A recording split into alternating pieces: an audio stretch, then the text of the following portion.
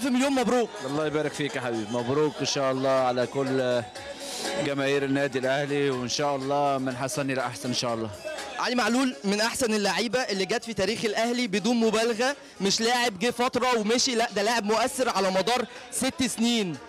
النهارده مباراة صعبة وظروف صعبة بالتالي انت من أحد كباتن النادي الأهلي يعتبر دورك مع اللعيبة كان إيه؟ وخصوصا إن أنت برضو جاي من مرحلة كان فيها إجهاد كبير مع المنتخب التونسي في بطولة الأمم الأفريقية.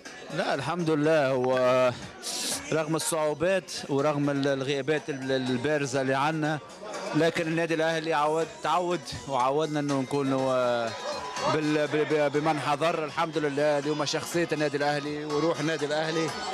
خلتنا نتعدى نتعداو كل الصعوبات وننتصروا في مقابلة اللي ممكن آه، الناس كل كانت متوقعة أنه فريق المكسيكي هي اللي باش يتأهل لكن الحمد لله شخصيتنا اليوم خلتنا ننتصروا ونقدموا مقابلة بطولية بالرغم من الغيابات الكل.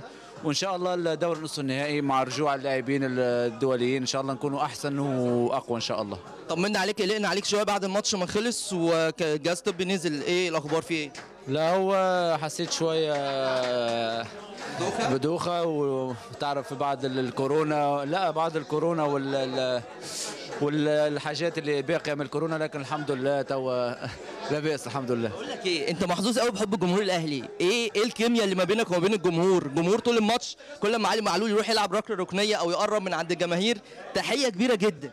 الحمد لله الحمد لله. لا الحمد لله بس سر العلاقة دي إيه يعني؟ طبعا نجم كبير وتتالق دايما مع الأهلي وحب كبير من الجمهور لكن قليل لما بنلاقي فيه ألفة جامدة جدا ما بين الجماهير ولاعب حتى لو لاعب أجنبي تحديدا. أنت مش أجنبي أنت مصري دلوقتي بس في نفس الوقت علاقة مميزة جدا بينك وبين جمهور الأهلي. تحب تقول لهم إيه؟ آه، أنا آه، يعني نتشرف إن نكون آه، من من عائلة النادي الأهلي. لكن أنا تونسي قبل ما نكون مصري لكن الحمد لله إنه الكيمياء اللي موجودة مع جماهير النادي الأهلي هم ممكن يشوفوا إنه علي معلول يقدم في آه، أداء باهي. وأنا نكون ليهم كل الاحترام والمحبة. وإن شاء الله العلاقة هذه تدوم أطول إن شاء الله. مليون تحية لتونس اللي جابت لنا علي معلول. حبيبي حبيبي ربنا يخليك. الله يبارك. مبروك. مستمرين معاكم بعد قليل هيكون معنا بعض اللقاءات الأخرى.